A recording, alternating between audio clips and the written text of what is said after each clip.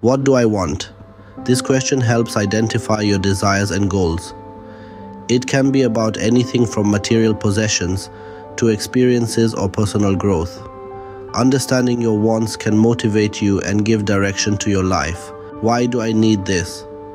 This goes deeper than just wanting something.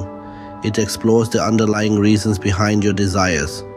Maybe you want a new car because it represents freedom, or a fancy title because it signifies accomplishment. By understanding your why, you can make more conscious choices. So, why do we need? This broadens the question to consider the purpose of things in general. Sometimes, we might think we need the latest gadget, but on reflection, we realize a simpler solution already exists finding things within ourselves. You're absolutely right that many things we seek might already be present within us.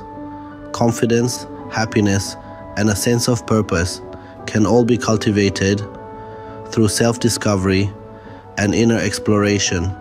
Here are some tips for self reflection journaling, write down your thoughts, feelings, and goals, meditation, quiet your mind and connect with your inner self, talking to a trusted friend or therapist.